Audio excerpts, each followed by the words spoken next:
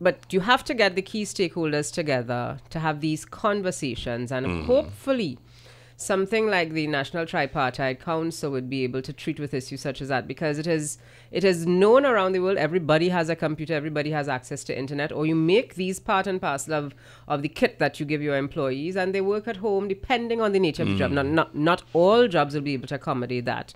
But some people can work at home some people can work flexible hours because i know for example there are persons who prefer to come into Port of Spain at six o'clock in the morning. So you leave home, you probably get, if you're living in the east, you get to Port of Spain in half hour, 45 minutes. You work mm-hmm. from six until two, so you beat the traffic and you get back home. So, mm-hmm. so people will be able to accommodate that. So you still can, but, but, but it requires some, some retrofitting all around. Employers have to be open to the idea and have to mm-hmm. see how they might be able to use this system. They also have to change the mindset. So this notion that you need to see someone in front of you to know that they're working.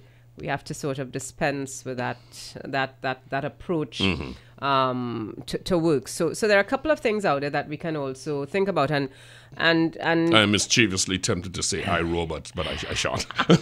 you know um, so we can think we can think about that and then we also have a younger generation the millennials etc who may be keen to find new ways of doing work you know you ask them to work from home i know when i you know abroad you have people who work actively from home they conduct meetings via skype or via whatever um, technology is available for them and they actively engage in work from home Yes. so I know I have a meeting scheduled, so I'm not available.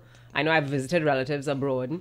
And okay, what do you want to do tomorrow? Okay, well, I have meetings from 8 to 11 at home, so then we can do whatever you need to do after that. And they sit in front of their computers and they conduct their meetings from 8 to 11.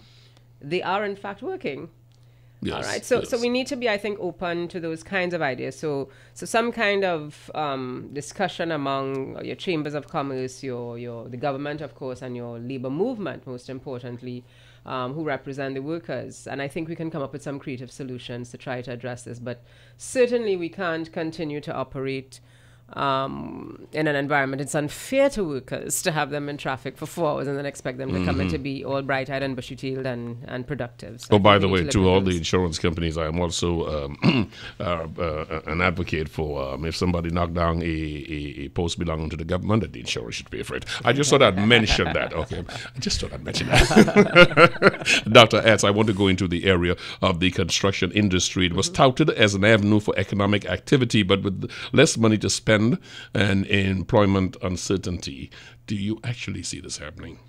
Well, I think we have to clear some, we have to unclog some, some arteries first because with the construction, it's an investment that is being made. Mm-hmm. So there needs to be some confidence in terms of what is happening in the economy. So people have to be comfortable, comfortable in terms of what is happening in the economy to then make the investments in construction. So I think it is an opportunity to absorb some of the labor. So you have some of the CEPEP workers, for example, or whoever else might, might become displaced. It is an opportunity.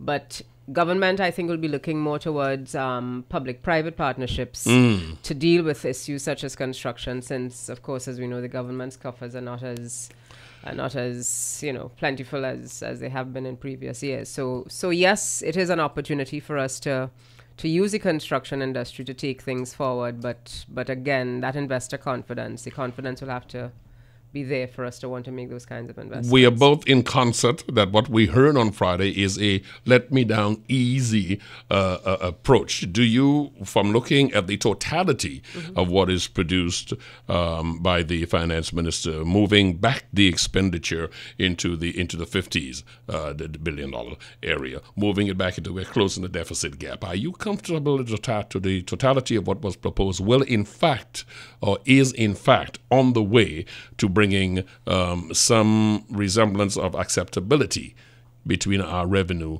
and our expenditure.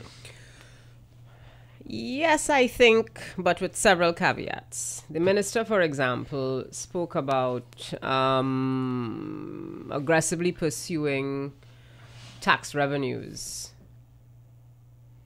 Um, because that's several millions of dollars that that that need to be captured, mm-hmm. both in terms of VAT and other taxes. The gaming industry, for example. So the idea is not to increase any taxes in the gaming sector, but to ensure that persons who operate in the gaming sector actually pay the taxes that are owed mm-hmm. to the government.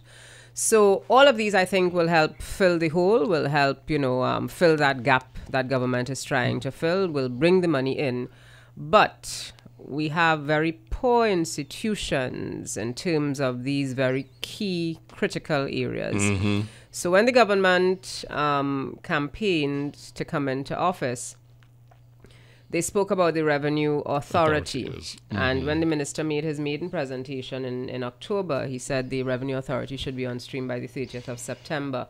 He made no mention of that last week Friday, and I think that to me was was a gap in his presentation because you're talking, you know, very strong language about being aggressive in terms of collecting the taxes, etc., but no mention of this revenue authority because the institution that is broken, and this is not an indictment, well, perhaps it is, of the Board of Inland Revenue. Mm-hmm. That is the institution that is broken that mm-hmm. you're saying that has resulted in all of these leakages why mm-hmm. you've not been able to collect the taxes.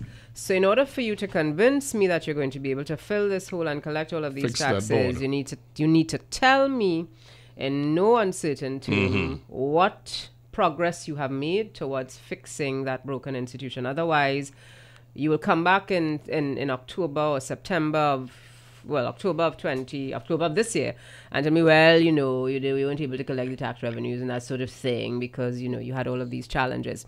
So I think part of the conversation, and, and I, I keep saying this ever since Friday, that we need to be talking, um, we need to be having conversations so that we can connect some dots. The population, I think, um, is willing to make the sacrifices. Most of the population is willing to make the sacrifices. Most of the population understands where we are um, economically speaking as a country.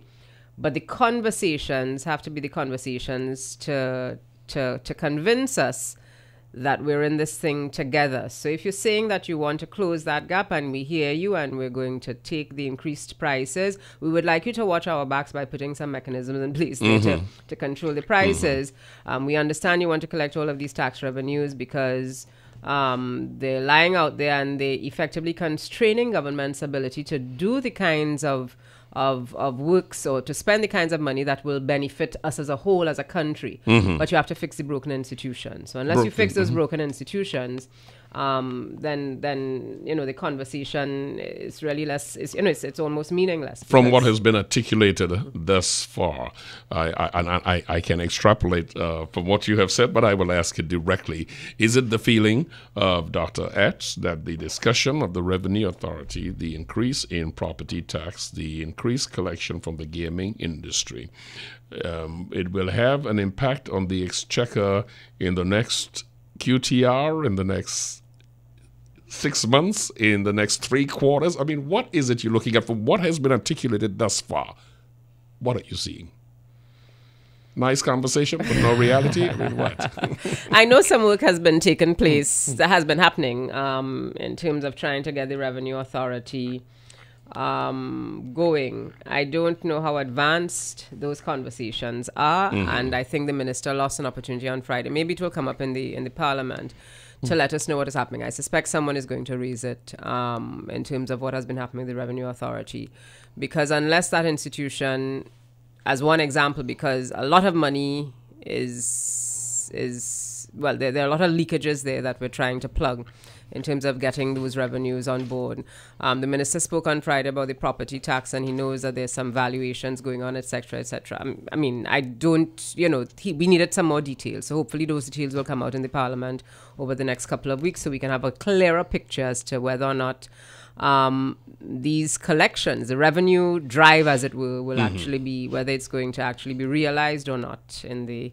I don't know about the next quarter. I'm I'm I'm looking at first quarter fiscal 2017. That's my prognosis. All right, it's not going to happen this year. It's going to happen next year. That's Beca- my be- because at some point we have to, you know, it, it, it is almost the same as asking everybody to understand that you've got to take some medication. But you've got to be, it, the, the important thing here there is a disconnect um, between uh, the, the, the general population and, and, and, and, and, and, and the integrity of these institutions. So if you're in fact going to do this, you say you're going to have to take the medicine. All right, let me know, you've got the, med- the, the, the, factory that's making this medicine. I mean, give me something specific. The Revenue Authority, you said it was an opportunity loss. Yes, it was a big opportunity loss because folks are looking and saying, all right, we're all going to share this, but absent that Revenue Authority, Yeah. it means we are not all sharing it. I'm getting the burden. But I mean, the, the, the inland revenue story is more than simply the revenue collection. eh? You have um, business persons who complain about um, extraordinary delays in their VAT refunds, which of course impacts on their ability to conduct their day to day business.